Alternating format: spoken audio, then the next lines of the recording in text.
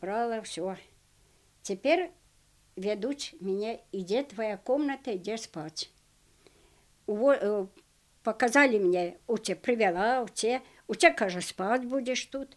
У тебя э, окно, одно окно, зеркало, великое зеркало. Там до меня, пока я, э, пока меня взяли, так была немка. Тоже ж такая служанка была, немка. Ну, немку уже, наверное, платить надо, а те ж бесплатно. Так забра... Видно, вышел закон такой, что можно брать астербайтеров. Показала мне кровать. Подушек там столько. Я думаю, все ж видно кладовая, чи що, що стільки подушок лежить. И вот великая подушка.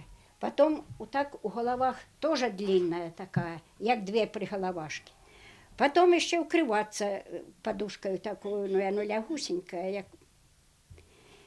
Я то все в сторонку позлаживала и так прилегла уже, что думаю, все ж кладовая, они не забрали постель. Переспала. Утром рано-рано стукая меня. Вера, Авштейн, Авштейн.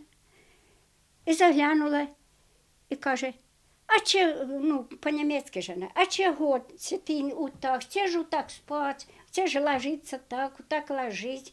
А я кажу, я думала, що я кладу, так не дай Бог, що я буду спати, а це ж не так. Розказала мені, ну все,